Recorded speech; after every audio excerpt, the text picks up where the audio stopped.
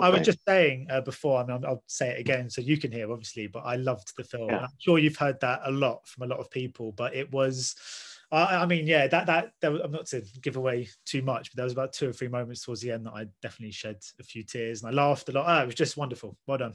oh, great! Oh, amazing! I'm good. I'm glad to hear it, man. Thanks, Stefan. That's that's really nice. Um, so I'm going to begin. I mean, starting by, I mean, it is such a profound movie, and it's enriched by the kind of sadness and the pertinence that runs through it, and yet obviously has these kind of moments of of comedy. Yeah, I mean, when you got that screenplay, you must have just looked at that and looked at the character and just thought, "This is one I have to be a part of."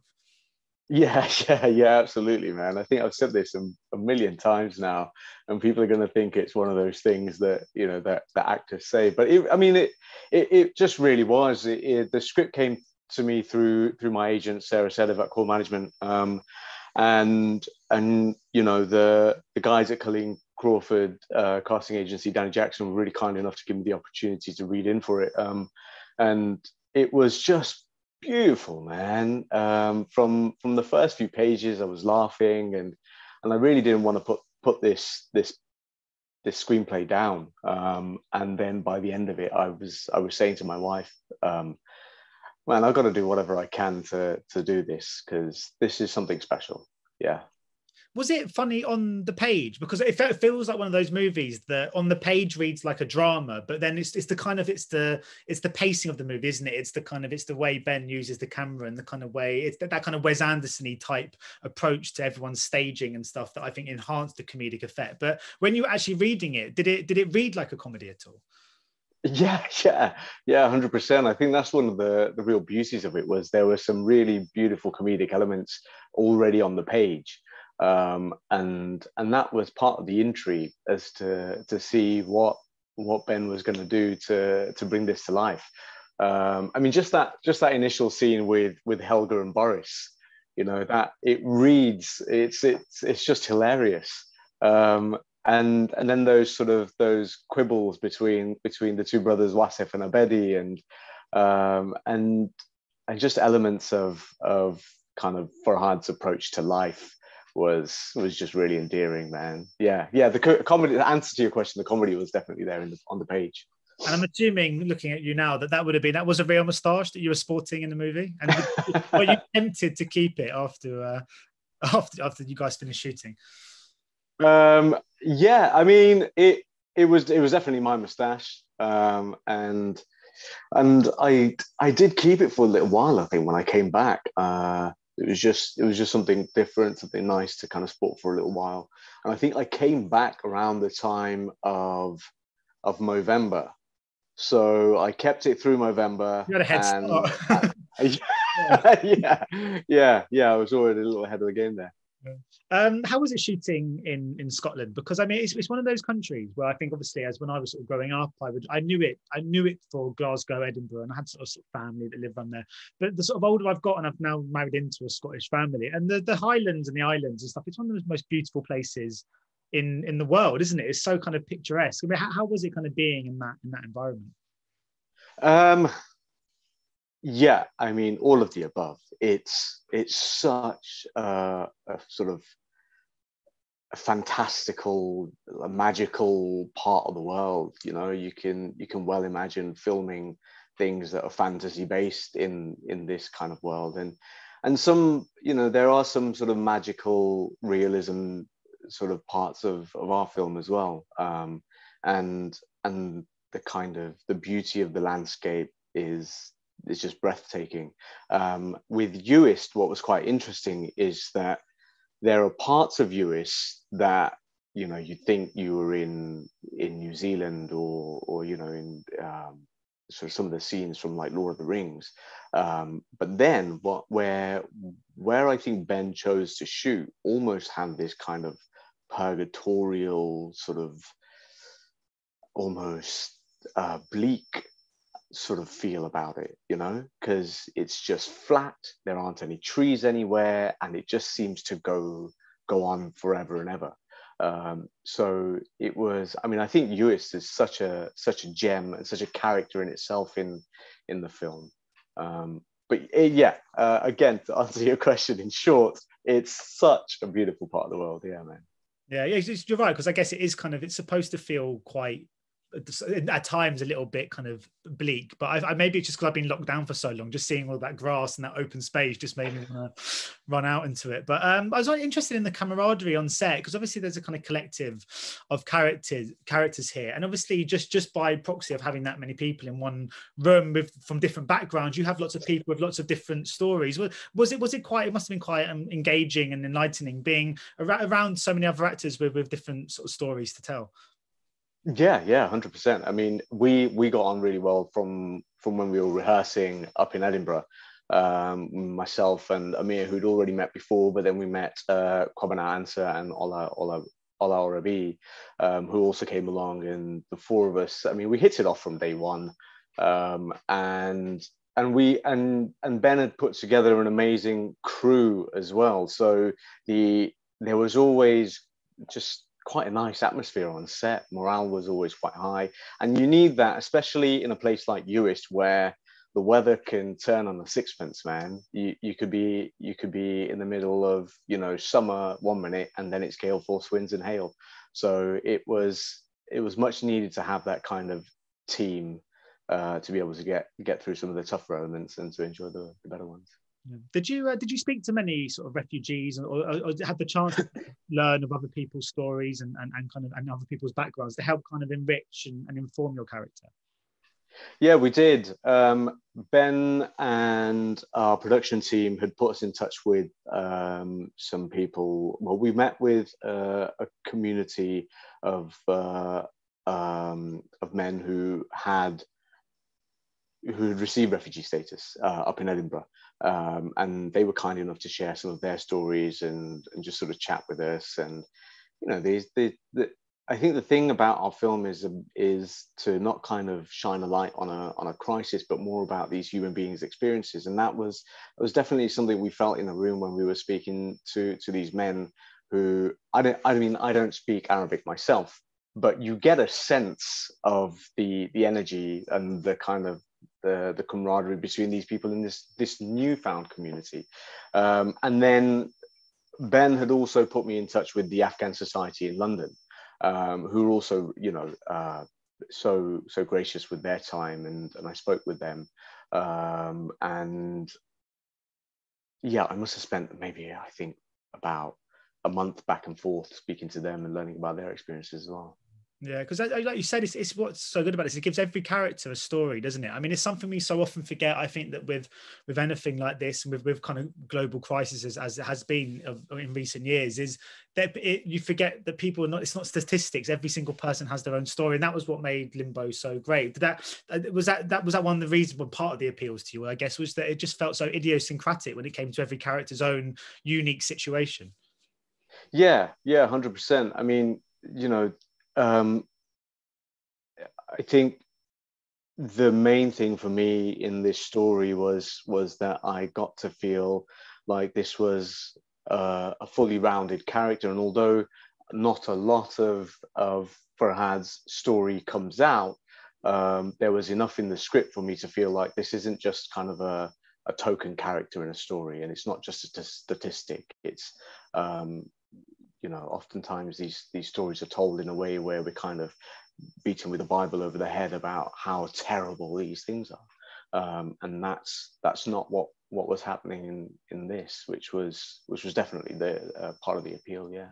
Yeah, and I mean, it sounds like a sort of big question, probably a hard one to answer. But look to watching this and kind of appreciating everyone's kind of story and taking such an empathetic view, it, it really makes you realise that this kind of lack of of compassion generally in, in, in, culture at the moment, particularly if you look at kind of US and UK as examples, the kind of the the, the closing of borders, this this kind of reluctance to help people that are in desperate need of help. The, does it ever sort of surprise you or shock you just at how little compassion sometimes that we we tend to have as a in humanity? I mean, obviously, that for every one one bad egg, there's ten people that would do anything to help. But over the last few years, we have seen a rise in kind of this kind of more closed off, sort of introspective way that everyone's sort of saying, no, we don't want people to come to our country, but actually, we should be doing all we can to help. Yeah, I think I think you're absolutely right. Um, I think we're in a very strange time at the moment where um, where the voice of of people who who who who I guess perhaps I don't want to say lack compassion because it would be dismissive of their experiences as well. I think um, I think key to to a time like this is to have some kind of empathy to be able to navigate through it and come out on the other side better, so that we're able to understand both both kind of sides of of the situation. But um, you know, we're I mean, just like if we're talking right right up to date with with the situation in Israel and Palestine and what's going on right over there right now, it's it's horrific. I mean, these you know these are war crimes, and we're waiting on the the international world to to speak up and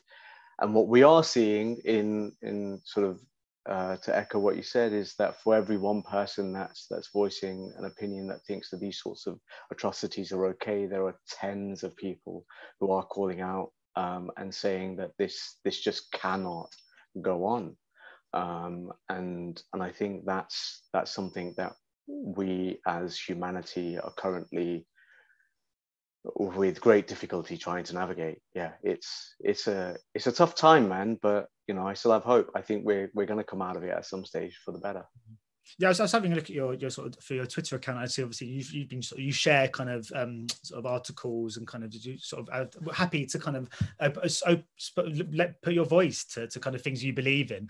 And because obviously there's this kind of line, this kind of really stupid line where people say, "Oh, you know, actors should stay out of politics." But actually, that's an inane statement, isn't it? Because uh, uh, do you think it's important that everyone uses their voice and, and as as anyone would, you know, in the same way that if you work in a coffee shop, if you're a plumber, you have every right to voice your politics in the same way actors do. So are you are you very much a supporter of the idea that actors or, or anyone from any walk of life should be political? Um, I'm not sure that it's a case of of being political per se. Um, I think that you know, as I guess if your notoriety rises, um, you have a bigger platform. And if you feel partic- a particular way about an issue and you think that you can shine a light on an issue uh, for its betterment, then sure, why not? Um, you know, you're, you're only trying to, trying to make the world a better place. So I don't, I don't think there's anything wrong with that. Um, yeah. Yeah. And I was, I was into looking into your sort of background because I was looking at your your IMDb and sort of you've been doing this it's well kind of sort of on screen sort of credits for sort of seven eight years. Uh, what, what, mm. what, was tell me about like how you got into acting and and and what your kind of trajectory was and to get you to to where you are today. Um, so I think I've, I've always wanted to be an actor, I guess, uh, before I even knew it. Um, you know, from the age of about four or five years old, doing school little school plays and things, um, and then being given more opportunities by maybe teachers or people people in the community who thought, oh, you know, he's he's maybe got something.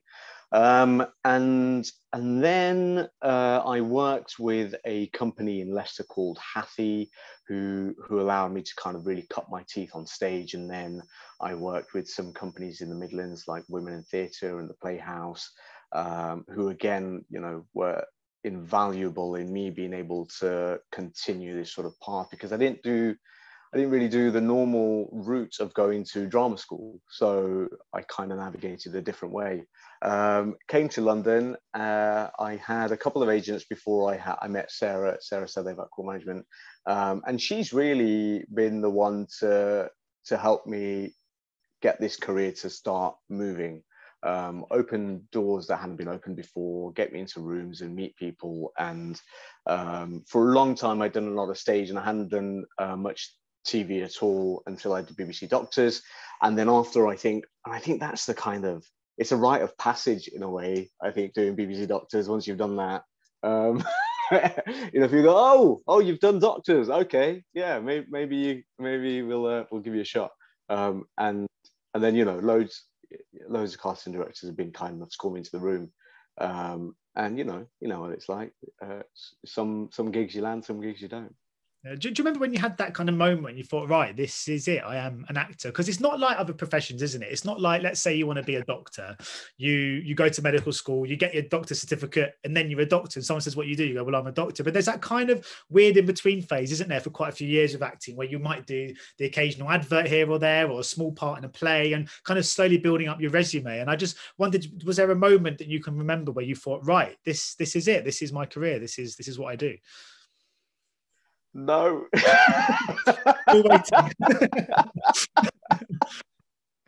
ever the fraud, Stefan. Ever the fraud.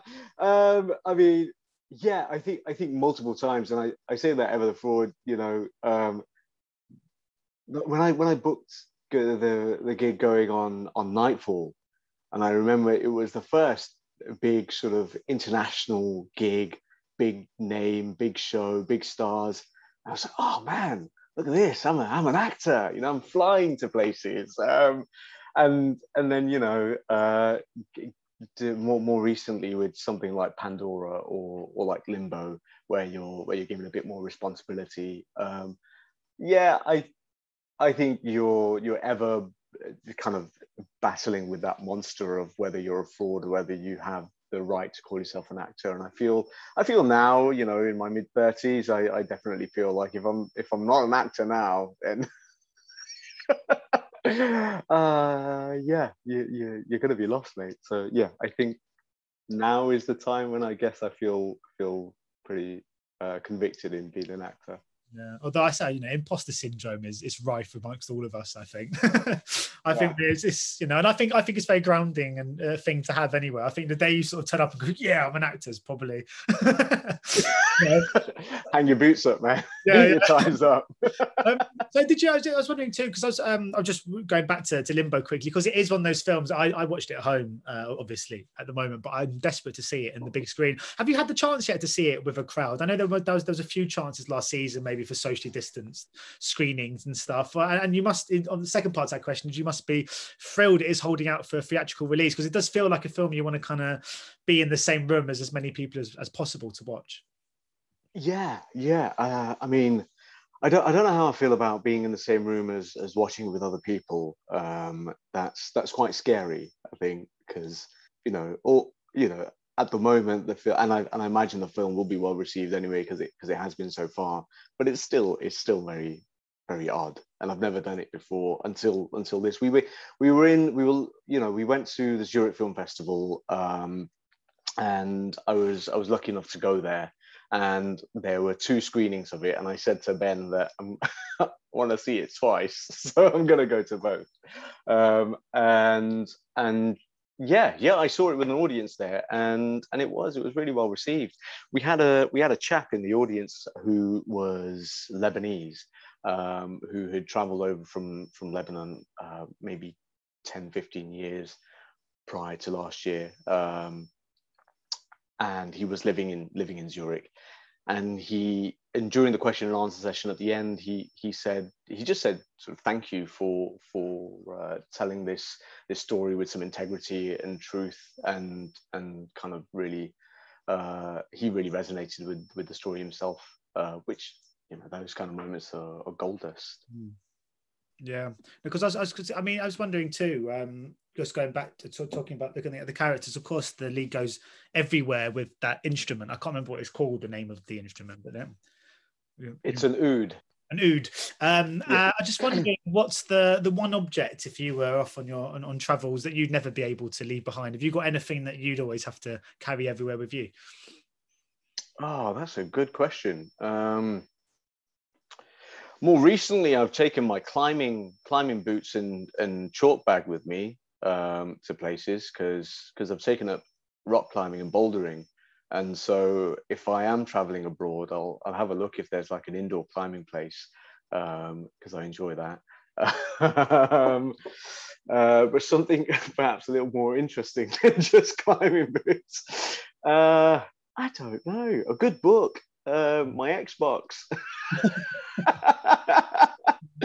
uh, yeah, maybe maybe maybe a chessboard to play chess with people. Um, Tra- travel Scrabble's always good, I find. Travel Scrabble. Yeah, Travel Scrabble's great. You can take that anywhere. I mean, it might be Ah, that's- hard if you go to places where English isn't their first language because then you're dealing with a different different words. So that could be an interesting game to play. But no, it's yeah, that's I always find that's a good one. Um, and yeah, just to go back as quickly, you're just talking about seeing the film in Zurich and stuff like that. How is it seeing yourself on the big screen? I mean, the thing is, I, I would imagine that it, it, it never gets normal, even if you've been doing this for 50 years. But is it? Are you able to sit down and watch Limbo like I would watch it, like an audience member, or is it too distracting seeing seeing yourself in, in, as part of the story? Um, yeah, I think it's it is a little bit distracting. I you know we had about two years apart from when we finished shooting to to when we were able to see it on screen. So it gave me a, a little bit of distance to to be able because I you know I didn't look the same anymore. Um, so I could watch it perhaps a little better than than you might do normally. Um, but you know it's you, you're not the only cog in in the whole of the the clockwork piece. You know, you're you're uh, I don't know what the phrase is, the cog in the the doodah. Um, but yeah, I'm not the only piece in in the puzzle, and uh, and so you're able to really, and there's so much of the film that you're able to enjoy: the cinematography, the score, the the other players on screen. Um, uh, just gosh, I can't think of anything else in in there that now my mind's just gone blank. Um, but just yeah, the landscapes, the the uh, the framing, the the way that kind of the the edit of it as well, and the way all that kind of plays in together. I you know I discovered, which was really nice for the first time. There's a moment where he's uh, Omar is tightening, he's tuning his oud, and the sound starts to become quite eerie and sort of like it's horror. It's kind of like this is sort of almost like a horror film esque. Um, it's kind of really industrial sort of sounds, uh, which was a great experience, you know, as as a consumer. So I yeah, I was able to in a way, but not so much when I was on screen. So my, my final question really is just looking ahead and what's kind of next or what you've because I guess obviously you know sort of pre limbo I guess there was maybe maybe a sort of sense of waiting for that kind of big kind of cinematic kind of role and that this I mean limbo is is that and then some. So has, has that changed the the kind of your aims and ambitions for like the next 10 years? And how how how how, how do you think the next few years are, are looking for you? Have you got kind of much lined up? Um, yeah, I really don't know. I mean, I have done some stuff already. I worked with uh, Amrita Acharya and uh, uh, Priyanka Burford recently on a short film directed by uh, Amrita Acharya and starring um, Priya, uh, Priyanka Burford. Um, and uh, I'm and I sh- I was in a couple of episodes. I think about three episodes of of the Amazon series Hanna. Um, I'm only in it momentarily, but I did, you know, I was I was able to play in that as well. Um, later this year or early next year, there's another project that I'm going to be a part of, which I can't speak about at the moment, um, which has just been put on hold because of because of the COVID situation. So there are things that are happening, um, and hopefully, you know, touch wood, uh, things continue to happen. But you just, I guess, you just don't know, Stefan, in this in you know in this world, like what's going to happen? Do they like your face now, or will they continue to in ten years? Uh, Oh, hope so. Yeah, it's kind of scary but exciting, isn't it? I suppose it is one of those sort of professions, one of those jobs where yeah, you just sort of you can never really second guess what's to come. But that that has its own pros and cons. but yeah, yeah, man. Like it's you know I love what I do. It's it's scary, um, but you know I'm I'm lucky I'm able to hold down a day job where I work for this puzzle book company uh, called Any, Any Puzzle Media. I do some illustration stuff for them, so you know there's a there's a little bit of something to lean on. Um, but I mean, acting's acting's all I really know. So so keep employing me, people. well, look, if, if this performance and character and movie is anything to go on, I mean, it should the role should come flooding in because I thought Vikash, oh sorry, not Vikash, Farhad, that's your name, um, was such a wonderful character, and you brought so much humanity and depth to, to that role. So I thought it was a, a great character and a great film. So yeah. Yeah. oh, I appreciate that, man. Thank you, Stefan. That's that's kind of you to say so, dude. Ladies and gentlemen, you're watching HeyUGuys! Hey, you guys, huh? Hey, you guys. Is that yeah. from the Goonies? It is indeed, yeah. Nice. Hey, you guys!